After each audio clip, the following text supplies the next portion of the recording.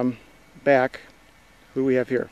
We have Lou Helebrant, who was the half brother of uh, Edward Kostal, Mm-hmm. and he was a full brother of Jim Helebrant, Anna Smaha, and Tony Stanton. Okay. And his wife, Josephine, and we called her Josie Mm-hmm. always.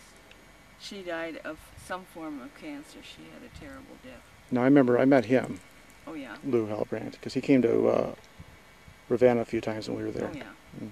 Yeah, we saw him a lot. Okay, well we'll keep we'll keep searching for more Helebrants.